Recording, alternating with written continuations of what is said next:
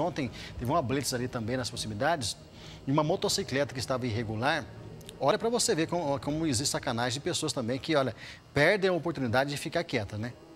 Então, durante a blitz ali, os policiais viram várias motos ah, ali estacionadas e checando ali a documentação de uma delas, viram que a documentação estava toda atrasada. Ligaram para a Polícia Militar.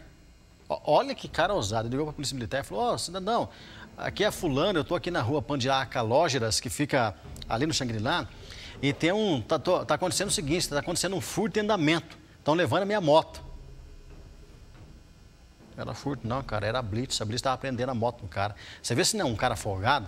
Ligou para o 90, a blitz recolhendo a moto e falou que estava acontecendo um furto em andamento.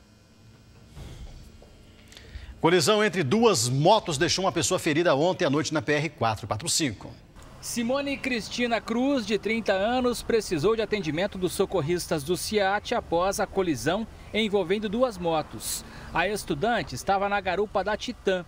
O piloto da moto foi atendido pelo CIAT também, mas liberado ainda no local. Já o condutor da Yamaha Phaser não sofreu ferimento algum no acidente. O acidente aconteceu aqui na Francisco Salton, na entrada de uma faculdade localizada na marginal da PR 445. As duas motos, tanto a Titan quanto a Phaser, faziam a conversão da PR para entrar aqui na Francisco Salton, na faculdade, quando acabaram colidindo. Simone foi diagnosticada pelo CIAT com contusão no tornozelo e joelho. A vítima foi encaminhada para a UPA do Sabará, onde passará por exames e receberá maiores cuidados médicos. Num outro acidente envolvendo duas motocicletas, três pessoas ficaram feridas. Nesse caso, o acidente foi ali na rotatória da leste-oeste com a Avenida do Sol.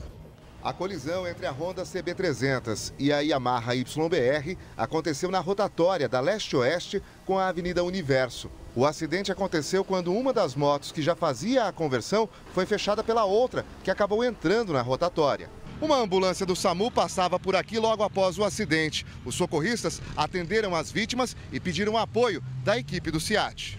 A vítima mais grave foi João Vitor Souza Costa, de 21 anos, condutor da CB300. Ele teve uma fratura no braço e um corte na barriga e foi atendido pela equipe do CIAT. Gabriela Rodrigues, de 18 anos, que estava na garupa da YBR, também teve algumas escoriações. Já a mãe dela, que conduzia a motocicleta, não teve ferimentos aparentes. Um dos motociclistas foi atendido por nós, as outras duas pela equipe do SAMU. É, o que nós atendemos aí estava com, com, algumas lesões importantes, é, uma fratura fechada em úmero é, do lado direito, tinha um lacerante também bastante profundo ali em região abdominal, também do lado direito, e reclamava também de bastante algia na região lombar. Mas apesar desse impacto e dos ferimentos, ele estava consciente? Não, consciente, orientado todo momento. É, vai ser, foi encaminhado para o hospital universitário para uma avaliação médica mais detalhada. E no Jardim Nova Olinda, outro acidente foi registrado e mãe e filha ficaram feridos.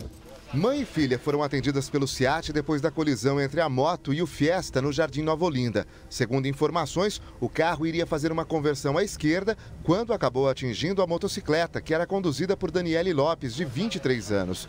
A mulher e a filha dela, de 7 anos, que estava na garupa, foram jogadas contra o chão e tiveram ferimentos leves.